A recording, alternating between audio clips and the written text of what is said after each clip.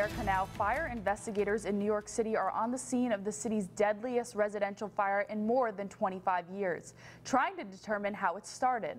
Last night's fire in the Bronx killed a dozen people, including four children, and injured several others. Laura Podesta has the latest.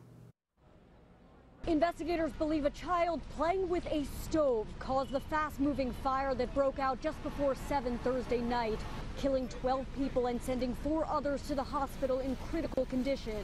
A young boy, three and a half years old, playing with the burners on the stove.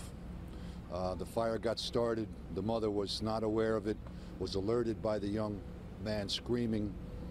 She exited her apartment with these, uh, her two-year-old and three-year-old and left the door open. People trapped at apartment 13. We're getting a baby in there. Uh, also, apartment 6, people trapped. Fire crews arrived on the scene three minutes after the first 911 call. This building resident said he relied on his faith while he waited on his third floor fire escape. The fire service people bring that, brought a ladder and they took the children one after the other, including my wife and myself. Fire officials say the building had at least six open building code violations, including a broken smoke detector on the first floor where the fire started. Survivors were forced into the bitter cold with no warning. It was like freezing point, so it was worse for people who wasn't ready and dressed appropriately with no shoes or any of that.